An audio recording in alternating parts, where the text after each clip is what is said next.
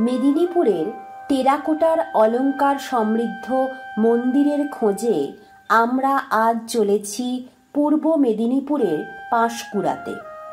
অতীতে কংসাবতী নদীর অববাহিকায় অবস্থিত এই পাঁশকুড়া অঞ্চলে রেশম শিল্প অত্যন্ত উন্নতি সাধন করেছিল।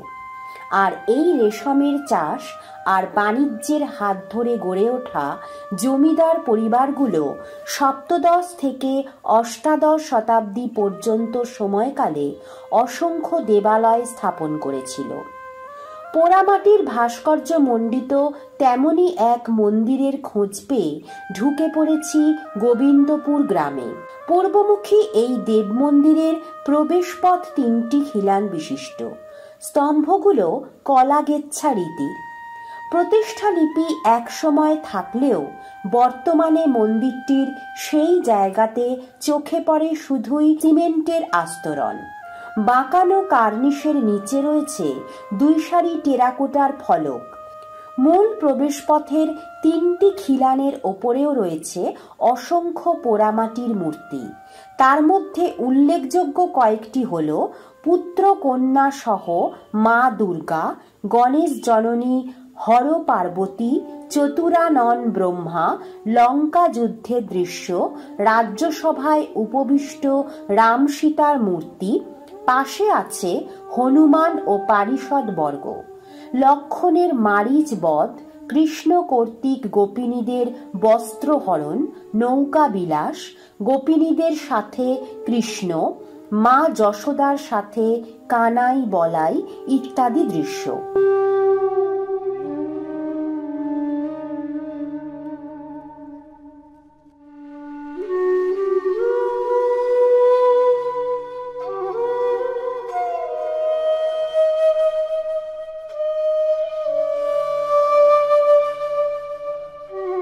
ছোট অলিন্দের পরে রয়েছে দেবালয়টির গর্ভগৃহ। গর্ভগৃহে প্রবেশ করার দরজার এক পাশে রয়েছে লাঠি হাতে এক পুরুষ মূর্তি আর অন্য পাশে রয়েছে মালা জপরত এক সাধুর মূর্তি। এগুলো পোড়ামাটির তৈরি। আমরা এখন পূর্ব মেদিনীপুর জেলার পাঁশকুড়া থানার অন্তর্গত গোবিন্দপুর গ্রামে এক প্রাচীন মন্দিরের সামনে দাঁড়িয়ে আছি। এই মন্দিরের বংশেরই এক উত্তরসূরি। আপনার নাম? সতীনাথ চক্রবর্তী। আচ্ছা এই মন্দির অনেকে বলছে দে বংশের। তা এটা মানে দে না চক্রবর্তী মানে কাদের মন্দির এটা? আগে ছিল ভারতচন্দ্র দে। আচ্ছা। ওনার দ্বারা প্রতিষ্ঠিত হয়েছে বারোশো অষ্টাশি সাল। পরবর্তীকালে ওনার নাতনি মানে যে সুখদাময়ী দাসী উনি এটাকে সংস্কার করেন তেরোশো ছাপ্পান্ন সাল।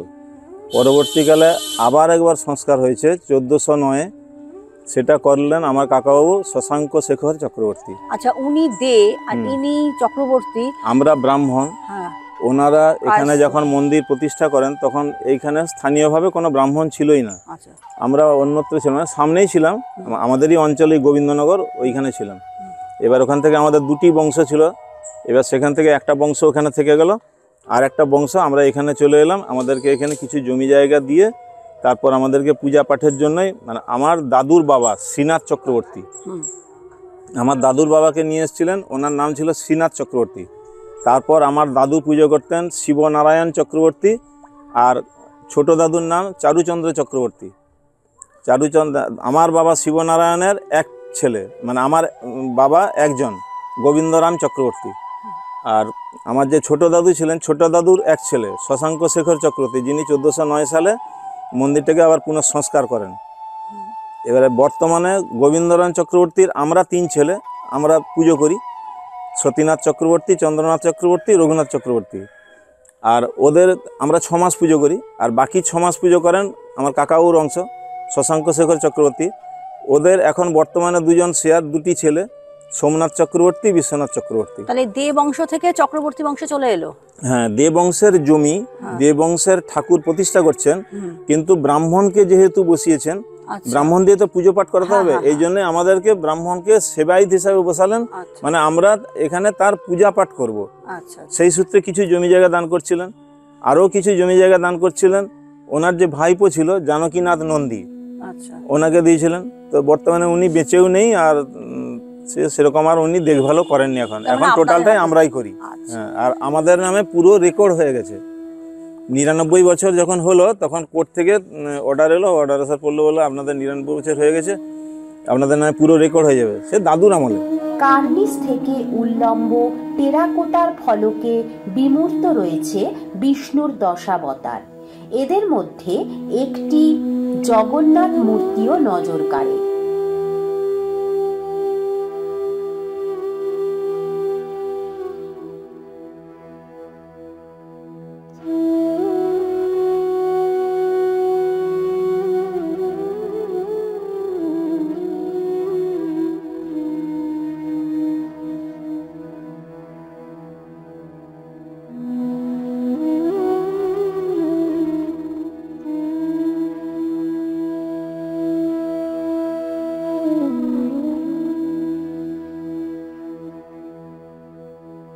কি পার্বণ হয় এখানে?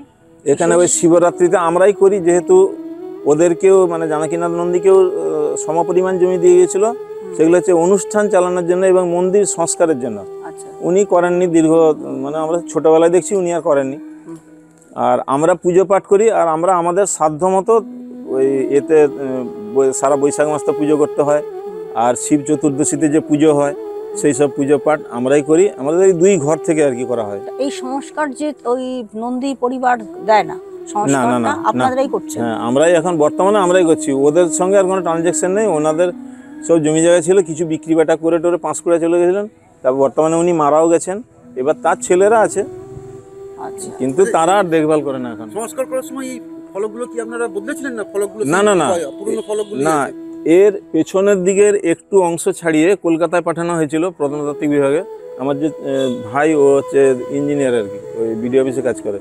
ও পাঠিয়েছিল ওরা একটা রং সাজেস্ট করে দিয়েছিল যে এই রংটা লাগাবেন তাহলে টেরাকোটার মূর্তিগুলো অক্ষত থাকবে। হুম হুম। এবার সেই রংটা এনে আমাদের এইখানে ওই রংটা করানো হয়েছিল যে কারণে মূর্তিগুলো ভালো আছে। আচ্ছা আমরা কি দেখলাম? আমরা ওই একটা গেছিলাম একটা আগে জোড়া হ্যাঁ। জোড়া শিব। তাদের তো সব বারোটা বাজিয়ে দিয়েছে। তারা করেছে কোন রং লাগিয়েছে এবং যথারীতি ওগুলো নষ্ট হয়ে সব নষ্ট করে তো আপনাদের এই যে তথ্যটা দিলেন এটা আমার মনে করি বাকি যারা যাদের আর কি পুরনো সংস্কার করতে চান যাদের আর কি টেরাকোটার মন্দির আছে তাদের কাছে এই তথ্যটা কাজে লাগবে। হুম হুম অবশ্যই। হ্যাঁ, তারা আর কি এই রংটা আর কি নিয়ে কাজটা হ্যাঁ, করতে পারে? আমরা আপনার বাড়িটা আর কি সেই এই সিঁড়ি সিঁড়ি সিমেন্ট এগুলো হ্যাঁ যা ছিল সব তাই আছে। শুধু এই বাইরের আর কি টেরাকোটাটা বাদ দিয়ে বাকিটা সংস্কার বাকি হ্যাঁ বাকিটা সংস্কার হয়েছে। আবার এতে ওই টাইলস বসানো হবে ভেতর টেতর সব।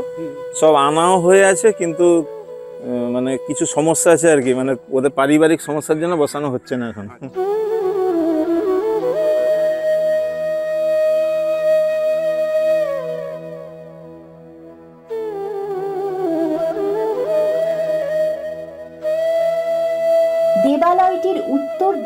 দেওয়ালে আছে এক দ্বারবর্তিনীর মূর্তি। আধখোলা দরজায় দাঁড়িয়ে আছে। কার প্রতীক্ষায়, কে জানে?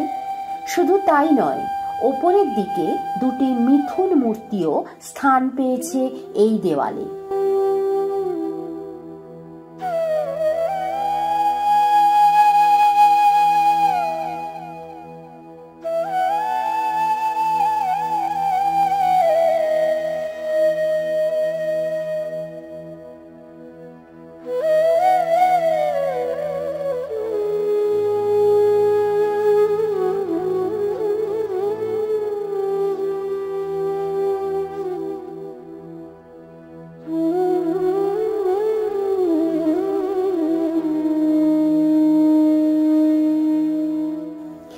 পশ্চিম দিকের দেওয়াল।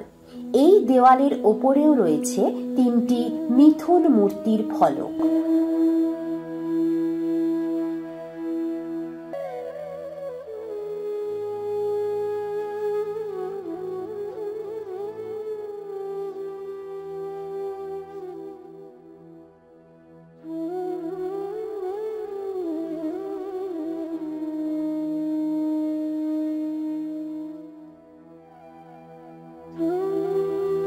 মন্দিরের দক্ষিণ দিকের দেওয়ালেটি।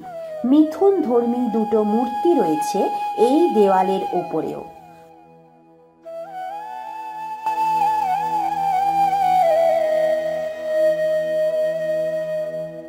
প্রচুর টেরাকোটা ফলকে সজ্জিত এই মন্দিরটির শেষ সংস্কার করা হয়েছিল কুড়ি বছর আগে। তবে আবার সংস্কারের প্রয়োজন। ইতিমধ্যেই জীর্ণতার চিহ্ন কিন্তু ফুটে উঠতে শুরু করেছে মন্দিরের সারা গায়ে।